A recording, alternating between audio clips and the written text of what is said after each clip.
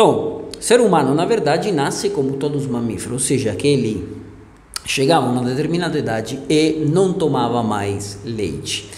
E eh, digamos que eh, naquela época, antigamente, tem tudo um estudo sobre isso, eh? ou seja, não estou inventando nada, no? tem um estudo feito por uma universidade finlandesa eh, que fala sobre essas coisas, que praticamente depois, com o passar dos séculos, teve uma mudação genética. Ou seja, parte da população que daquela área demais, por isso eh, esse estudo vem da, da, da Finlândia, do norte da Europa, é, é, parte daquela população praticamente através dessa mutação genética, eh, digamos que conseguiu eh, produzir esse enzima que se chama lactase, agora vou falar para que serve esse enzima, eh, conseguiu produzir esse enzima que se chama eh, lactase também depois da fase di ehm, non so, in italiano si fala di, di, di allattamento, no? ou seja, depois da fase che... Amamentamento. É, amamentamento, ou seja, depois da fase que você não precisa mais, na verdade, como todos os mamíferos, não precisa, ou seja, um, sei lá, um elefante, não é que bebe leite até os 50 anos de idade. Tem uma fase que ele bebe leite porque precisa, chega um momento que ele não bebe mais leite. Isso como todos os mamíferos que temos nessa terra. Agora, o ser umano è l'unico mammifero che, ripeto, a te, oggi in dia, a te os 40, 50, 60, 70 anni, sigue bebendo leite. A meno che non tenha a intolleranza.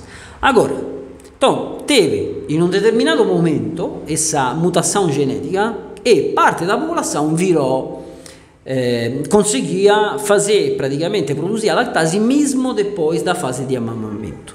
Aí que aconteceu que eh, praticamente eh, essa, essa mutação genética foi se crescendo, crescendo, crescendo, crescendo, até chegar hoje em dia que parece que eh, o que não produz mais a lactase é a pessoa estranha, mas na verdade o estranho é o outro. Aqui, como eu, como você também, porque a gente todos os dias toma cappuccino, ou seja, é aquela pessoa que há 50 anos ainda toma leite. O normal seria que depois de uma determinada idade a gente não deveria mais. Ou seja, está tá ingerindo um ingrediente que, que não precisa mais. então não precisa mais há muito tempo. Por isso.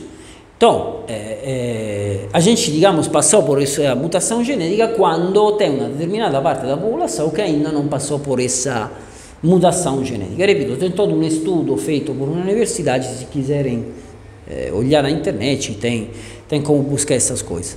Agora, ehm, falando isso, no?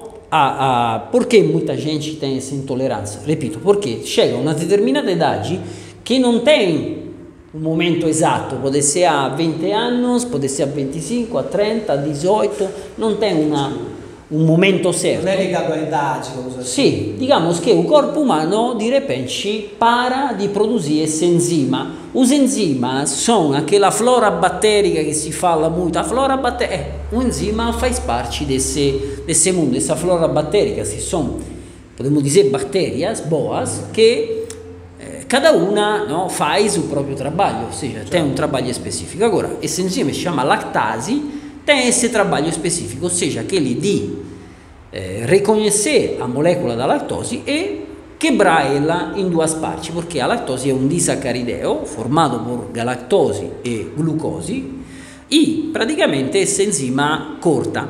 Quando deixamos di produzir, che acontece? Che eh, quando chega na parte gastrointestinal, onde tem a parte da metabolização dos alimentos, praticamente não temos mais a, a lactase que faz esse trabalho.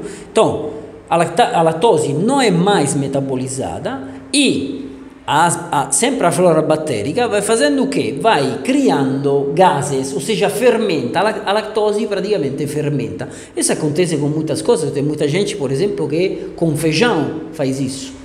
Eh, tem muitas fibras que fazem isso, não? E, e, que dá, Dá flatulência, dá, em casos particulares, não? dor de estômago, etc, etc, etc. Muitas, repito, muitos carboidratos fazem isso, ou seja, não são metabolizados e quando chegam eh, na parte eh, gastrointestinal, na parte da met metabolização dos alimentos, essas, essas enzimas, essas bactérias boas, não, não sabem o que fazer com aquele negócio, esse negócio fermenta e cria gás. Agora, intolleranza alla lattose, essendo una intolleranza, quero lembrar também que depende, cada pessoa reage de uma forma diferente.